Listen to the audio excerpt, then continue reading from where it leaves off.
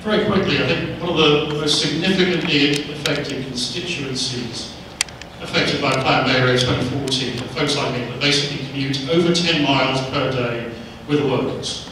And I see a lot of people here who are staff or who are elected officials. Can I see a show of hands for those people here who commute over 10 miles a day who are heavily affected by traffic? Show of hands. I think they're underrepresented. That's a significant number of people. What are you doing outreach-wise to make sure that that highly affected stakeholder group is proportionally represented in this plan?